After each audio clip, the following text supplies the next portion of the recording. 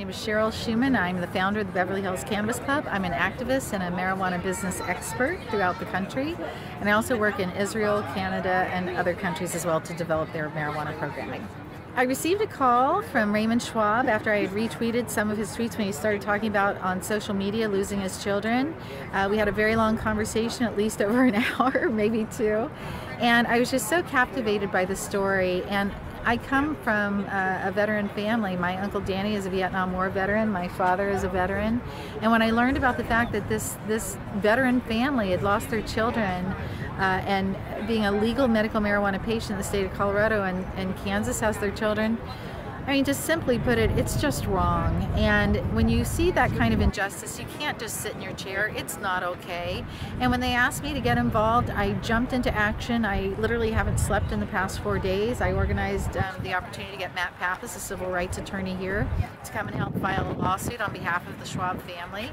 And we're here to start a national media campaign to make sure that there's enough awareness about this, that this case can be used as a role model for changing case law. And it's my hope that the work that we do here, starting in Kansas, to show the barbaric laws that are in this system now, it's my hope that we can change case law so that no family ever has to go through this again. We have to protect our children, and that's why I'm here. I get contacted all the time from people who are afraid to come out of the closet, especially in an illegal state. They don't know what to do. But the most important thing that you can do is create an awareness campaign.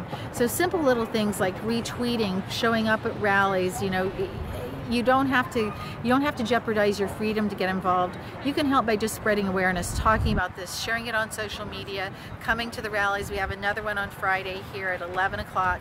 Come out and support us. Even if you're in the crowd and no one's bothering you, come out and support us because we need your support and those children need to come home. So anything that you can do as far as helping call your local media, getting them out to come and uh, look at these rallies, getting your friends to come to the rally, sharing it on social media, anything is helpful. And I always tell people, realize the power that you have. Think about the fact that third world countries are overcoming bad uh, dictatorships and governments and taking their countries back.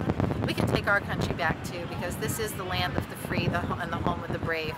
We've got a great, uh, really true brave group of souls here and a very dynamic team and we're going to see this through till the end. We're going to get those kids back and we're going to make sure that this never happens to any other families.